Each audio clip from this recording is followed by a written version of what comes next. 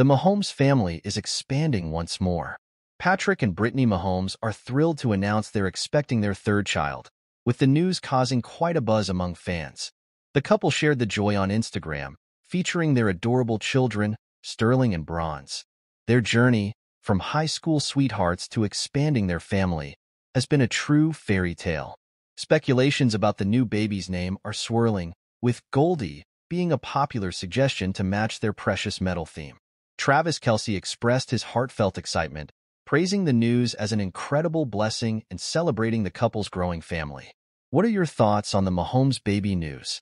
Share in the comments and don't forget to like and subscribe for more celebrity updates.